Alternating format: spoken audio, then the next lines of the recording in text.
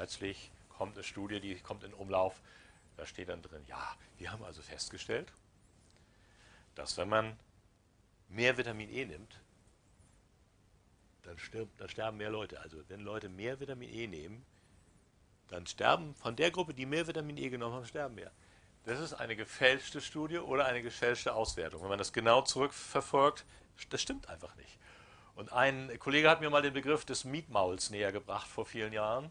Mietmaul ist also ein Maul, das man mieten kann. Das ist ein Professor, es gibt da genügend, die gegen Geld und andere Vorteile alles verdrehen, sodass es dann als wissenschaftliche Tatsache dazustehen scheint. Und man will zu ihrem Schutz, zu unserem Schutz, zum Schutz des Verbrauchers, will man Höchstwerte festsetzen. Das ist also ein wesentlicher Teil der Tätigkeit eines Komitees von den 27 Codex Alimentarius Komitees.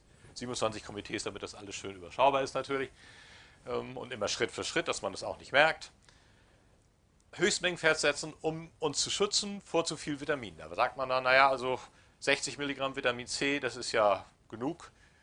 Wissenschaftliche Risikoanalyse, wenn er zu viel davon nimmt, dann kriegt er ja dies oder kriegt er jenes und Vitamin E wird gedeckelt, B-Vitamine werden gedeckelt, bestimmte Mineralstoffe werden runtergeschraubt, äh, sodass man dann letztendlich Präparate, die genügend hochdosiert sind, noch auf vernünftige Art und Weise äh, äh, kombiniert, dass man Herz-Kreislauf-Krankheiten vorbeugen kann, Herz-Kreislauf-Krankheiten wirklich in jedem Fall heilen, Krebsmetastasierung stoppen und so weiter, dass man die eines Tages dann hier überhaupt auf diesem Planeten nicht mehr bekommen soll.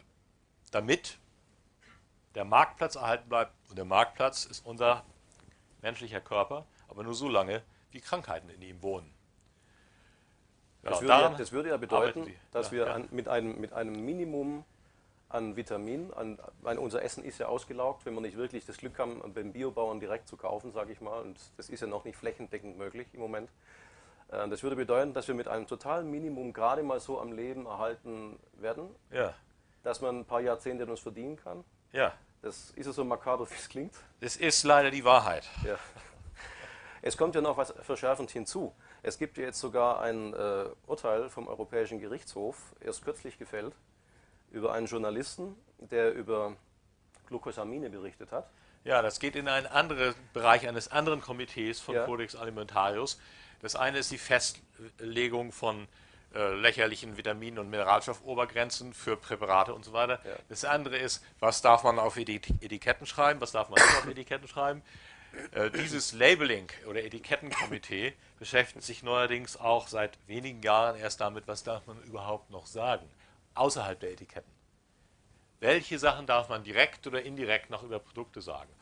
Und das ist also sehr, sehr ist ein Meilenstein im Prinzip, was da gerade passiert ist vor ja, kurzem. Genau. Und das wollten Sie sagen, das ist äh, ja, wollte ich sehr bedenklich. Kurz, ja. kurz was darüber zu ja, sagen. Ja, das finde ich gut, ja. Denn es ist so, innerhalb von der EU, es ist, ist ja im Prinzip, wird uns ja sogar ein Grenzwert äh, in unserer Aussagefähigkeit gesetzt, indirekt gesprochen. Wenn ein Journalist nicht mehr berichten darf über, sagen wir mal, den Benefit von, von Naturstoff oder von, von einem Kräuterheilstoff oder irgendetwas, das in einem anderen EU-Land als Arzneimittel deklariert wird, es geht ja um Deklaration, man kann ja durch Definition plötzlich einen Apfel als Arzneimittel definieren. Und dann darf ich nicht mehr drüber schreiben, wie viel Vitamin C in dem Apfel drin ist oder was für Stoffe und wie sie mir helfen können. Ja, genau. Weil er irgendwo deklariert ist als Arzneimittel. Wir haben seit in, in Deutschland schon seit 1976 ein Arzneimittelgesetz, das in Paragraph 2 in der Begriffsdefinition enthält, unter anderem Stoffe, mit denen sie die Funktionen des Körpers beeinflussen können sind Arzneimittel. Damit ist natürlich der Willkür Tür und Tor geöffnet. Denn ich meine, eine Scheibe Schwarzbrot oder ja, genau ein Glas Wasser zum Beispiel oder nur ein Schluck Wasser beeinflusst ja auch schon die Funktion. So, also das öffnet der Willkür Tür und Tor. Und Sie wollten gerade noch äh, äh diesen Fall erzählen. Was mit dem Journalisten? War ein dänischer Journalist, ja. der berichtet hat über einen Stoff, der Bindegewebsbaustein ist, soweit genau. ich weiß, Glucosamin. Glucosamin, ja. ja. Und der wurde verurteilt zu einer Geldstrafe von 1500 Euro weil in Dänemark Glucosamin als Drug, also als Arzneimittel deklariert ist. Und darüber darf er nichts mehr schreiben.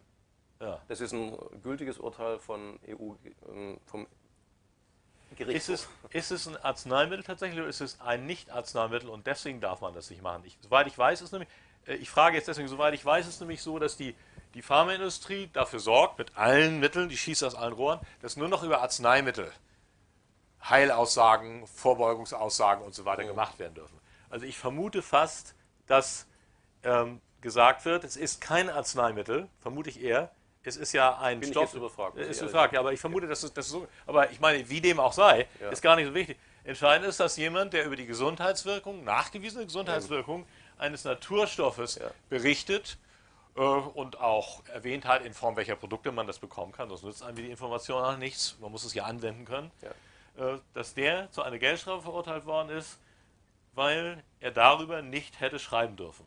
Das ist, das ist der Punkt, um den es geht. Ja. Ja, Soweit sind wir mittlerweile und das geht auch Hand in Hand eben mit dieser Kodex-Geschichte. ja. Ja, Betrifft die Grundrechte des Menschen. es betrifft die nicht wahr? Grundrechte. Die Grundrechte der Ernährung ja sowieso, die Ja. Grundrechte dessen, was ich mir aussuche, was ich mir einwerfe, ob ich eine Vitaminpille nehme oder nicht und wie viel davon. Das wird ja alles streng reglementiert. Und natürlich auch äh, die freie Meinungsäußerung. Ja. Gut, also ich denke, zu dem Thema haben wir jetzt einiges gesagt. Ja, Wir können einen Schritt weiter gehen, denn auch Vitamine müssen ja irgendwo herkommen, auch in der natürlichen Ernährung. Und äh, da kommen wir jetzt eben dazu, wie natürlich ist unsere Ernährung und was tut der Kodex dafür. Der immer behauptet, er will uns schützen. Zum Schutz der Verbraucher macht er alle möglichen Richtlinien auf 5000 Seiten, die kein Mensch lesen kann. Man sollte 5000 vielleicht Seiten soll man nicht überhören. Genau. Und man sollte vielleicht auch erwähnen, dass die EU dazu übergeht, sämtliche wesentlichen Dokumente so unübersichtlich wie möglich überhaupt zu gestalten. Da gibt es ein Dokument, das verweist auf ein anderes Dokument, das auf ein Dokument verweist, in dem es auf einen Paragraph verwiesen wird. Wie soll der normale Mensch für seine eigenen Lebensgrundlagen noch irgendwo sich informieren können, in einer kurzen, bündigen, wahrhaftigen Weise über das, was überhaupt noch erlaubt ist, was er darf und wie die Dinge überhaupt zusammenhängen? Ja, selbst Rechtsanwälte, die an diese schrecklichen Dinge gewöhnt sind, haben es schwer. Also wir, Ja. haben, wir haben mit Rechtsanwälten zu tun. Äh, ich erinnere mich an einen, äh, eine, einer wichtigen Organisation in England. Da haben wir zwei Meetings von je acht Stunden gebraucht, zweimal acht Stunden, bis er gesagt hat, so jetzt habe ich das nach Jahren endlich verstanden, was da läuft. Ein Rechtsanwalt. Rechtsanwalt. Gut. Ja. Und worauf ich raus wollte, ist der Kodex. Äh, man kann durchaus im Internet sich Bestandteile des Kodex runterladen. Die stehen öffentlich zur Verfügung. Nebenbei gesagt, hauptsächlich in Englisch, Französisch und vielleicht mal Arabisch, aber nicht in Deutsch, obwohl der größte Sprachanteil in der EU Deutsch ist, deutschsprachig. Das muss man einfach mal festhalten. Ja. Vielleicht haben sie einfach Angst vor unseren Einwänden, wer weiß schon. ähm, Es geht jetzt darum, dass im Kodex seitenweise aufgelistet wird, in welcher Form, wie und warum man genmanipulierte Lebensmittel prüfen muss, damit sie uns ja nichts tun. Das bedeutet aber, wenn man genau hinguckt, solange da Regeln stehen, wie man mit genmanipulierten Dingen umzugehen hat, sind genmanipulierte Dinge vorhanden. Das heißt also, der Codex Alimentarius befürwortet ganz klar die Gentechnologie. Und das ist ja eine Grundlage, die uns nicht unbedingt, wie wir alle wissen, äh, gesunde, vitaminreiche, langlebige Kost liefert. Und es ist offenbar vorgesehen, dass die Gentechnik im Kodex fester Bestandteil ist. Ja, das ist ein weiteres Un- Unterkomitee, das sich damit beschäftigt. Es gibt also mehrere Unterkomitees. Die wesentlichen Bereiche sind die Vitaminen, die schon erwähnten Vitaminen und Mineralnahrungsergänzungen. Der andere Bereich ist die Gesundheitsaussagen, die man machen darf über Nahrungsmittel. Ein anderer Bereich ist die biologische Landwirtschaft. Ein vierter Bereich sind die ähm, gentechnisch, technisch in Anführungsstrichen veränderten Nahrungsmittel. Ein fünfter Bereich die Etikettierung. Was muss oder soll nicht auf Etiketten drauf? Sechster Bereich die Werbung. Und ähm, siebter Bereich dann noch Nahrungsmittelzusatzstoffe und achter Bereich Pestizidrückstände in Nahrungsmitteln. Das sind also die wesentlichen acht Bereiche ungefähr, mit denen sich dieses, die verschiedenen Kodex-Komitees beschäftigen. Ja, und äh, das Komitee, das sich mit Gentechnik beschäftigt, das befürwortet eindeutig Gentechnik, legt fest, dass äh, Gentechnik äh, akzeptabel ist. Sie untersuchen nicht das Risiko wirklich. Und das Schlimme ist, dass diese Richtlinien, diese Codex Alimentarius Richtlinien, unter anderem Bezug auf die Gentechnik, die sind überhaupt nicht bindend. Das ist ganz eindeutig. Für eine Nation sind sie nicht bindend. So scheint es. Aber da jedes Mitglied der Welthandelsorganisation gleichzeitig noch ein anderes Vertrag unterschrieben hat, der als SPS, Siegfried Paula Siegfried, ähm, Abkürzung für englische längere Wörter, Vertrag unterschrieben hat, ist durch die Hintertür seit 1995 die Kodex-Richtlinien doch bindend. Und das bedeutet für äh, eine Nation wie zum Beispiel die Schweiz, die auch Mitglied der Weltgesundheitsorganisation ist, Sie muss es akzeptieren, unter Androhung hoher Geldstrafen schließlich, dass frei importiert werden gentechnisch veränderte Nahrungsmittel ähm, und dass sie muss auch akzeptieren, wenn es eine internationale Regelung ist, dass das nicht auf dem Etikett draufsteht, dass das bei Ihnen in der Schweiz auch so ist oder in Deutschland und so weiter. Und das ist eben das Erschreckende, dass solange eine Nation Mitglied ist in der Welthandelsorganisation, die schon von kompetenten Leuten als die Weltpolizei bezeichnet wurde, so nach dem Muster der Europäischen Union läuft das in der Welthandelsorganisation. Solange man da Mitglied ist, man gezwungen werden kann und durch sehr, sehr, hohe, sehr hohe Geldstrafen äh, sich an diese Regeln zu halten. Das ist das Problem. Also ein Ausweg wäre, wie realistisch auch immer der wäre, ist, aus der Welthandelsorganisation dafür zu sorgen, dass ein Land aus der Welthandelsorganisation austritt. Es hat natürlich nur Vorteile, in der Welthandelsorganisation zu sein, das ist klar, äh, wird den Nationen und den Regierungen gesagt, aber das stimmt nicht. So, also das, das, das, das zur Gentechnik. Man kann dann weder unterscheiden, was kommt auf den Teller, noch kann man sich es selbst als Nation aussuchen, weil das an der Kontrolle eine, eines Parlaments, einer Demokratie vorbeigeht. Durch internationale Organisationen wie die Codex-Organisation, die Weltgesundheitsorganisation und die Welthandelsorganisation. Das ist das Problem. Es ist wie eine Weltdiktatur, die durch die Hintertür eingerichtet wird. Und wir sehen hier ja einen weiteren Mechanismus. Es ist ja so raffiniert gemacht, dass irgendwie wieder keiner verantwortlich ist. Die Codex-Leute sagen, wir sprechen hier nur Empfehlungen aus, die sind ja nicht verbindlich. Und die Regierungen sagen, ja, wir können ja nichts den Kodex, aber wir haben halt zugestimmt, weil es alle tun und weil es gut ist. Und keiner ist wirklich verantwortlich. Also man findet nie irgendeinen, wo man sagen kann, Junge, du hast das entworfen, du bist verantwortlich, krieg das wieder in Ordnung. Es verteilt sich auf so viele Köpfe und unter so vielen Schreibtischen, in so vielen Ecken, dass man überhaupt niemanden zu greifen kriegt. Ja. Und dann haben wir den Expertenwahn. Ich meine, Experte ist ja ein inflationäres Wort. Ja, ne? absolut. Das ist ein Interessenvertreter jeglicher Couleur. Aber es gibt ja, ja Experten, die, die auch verstehen. Über mich haben Sie das ja am Anfang gesagt. Ne? Wer weiß, ne? Das war aber Ja. nett gemeint. ja. Nein, es gibt, es gibt Experten und Experten. Ne? Und dann stellt sich ein Experte hin und sagt, gut, wir nehmen den Kodex ernst, wir analysieren jetzt die Gensachen, passen auf, dass ihnen nichts passiert, wenn sie das essen. Und das dürfen wir auf keinen Fall tun, das ist schädlich. Das dürfen wir auch nicht tun, das ist schädlich. Aber das dürfen wir natürlich tun, das ist unschädlich. Also wenn ein Experte sich hinstellt und sagt, die zwei Möglichkeiten sind nicht gut für Sie, sagt er gleichzeitig, die dritte Möglichkeit ist aber gut für Sie. Ja. Ja. Also wenn er das gut macht, dann öffnen sich praktisch alle Türen, wo äh, die Organisationen durchgehen wollen. Sehen Sie das auch so? Ja, ja, absolut, absolut. Und es gibt so gut wie keine unabhängigen wissenschaftlichen Untersuchungen über die Auswirkungen gentechnisch veränderter Nahrungsmittel. Nicht? Das muss man auch noch dazu sagen.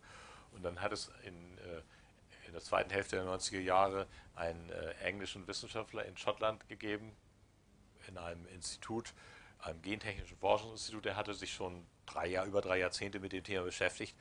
Äh, ein sehr international anerkannter Wissenschaftler, weil er viele wirklich gute, saubere wissenschaftliche Arbeiten über diesen Bereich veröffentlicht hatte. Und der forschte da nun fröhlich äh, mit Regierungs-, englischer Regierungsunterstützung vor sich hin, um festzustellen, das nahm er auch an, dass er zu diesem Ergebnis kommen würde, dass das ja nun alles kein Problem sei. Er hat dann aber in Experimenten mit Ratten unter anderem Folgendes festgestellt. Die, ähm, die ähm, Ratten, die mit gentechnischen veränderten Kartoffeln von der Firma Monsanto gefüttert worden waren oder gefüttert wurden, die waren kleiner, leichter, die hatten ein heruntergefahrenes Immunsystem, die Immunleistungen waren schlechter, die hatten verkleinerte Lebern, verkleinerte Herzen und deutlich kleinere Gehirne, als sie nicht mit den gentechnisch veränderten äh, Kartoffeln gefüttert worden waren. Und er ist dann mit Einverständnis, das ist nämlich eine ganz interessante Geschichte, damit man mal weiß, wie solche Sachen international laufen. Der kurze Dienstweg. Er ist dann mit Einverständnis seines Institutsleiters, und der hat ihm gesagt, ja, man muss ja das mit den Gehirnen nicht gerade sagen, äh, ist ans Fernsehen gegangen, hat, hat eine Fernsehsendung gemacht, in einem Fernsehsendung, der also eine Millionenverbreitung hat in, in England. Der hat gesagt, also mit den Gehirnen, das muss ja nicht sagen und also ein bisschen. Aber ansonsten im Prinzip war der Institutsleiter damit einverstanden, dass dieser Wissenschaftler die Sendung machte. Und er hat dann da auch ganz klar einige Sachen gesagt, immer noch deutlich genug, dass es einen großen Aufruhr gab. Äh, Und er hat auch ganz deutlich gesagt, er selber würde solche Nahrungsmittel nicht essen. 48 Stunden später war sein Job los. Und seine Lebensgefährtin, auch eine sehr anerkannte Wissenschaftler, die schon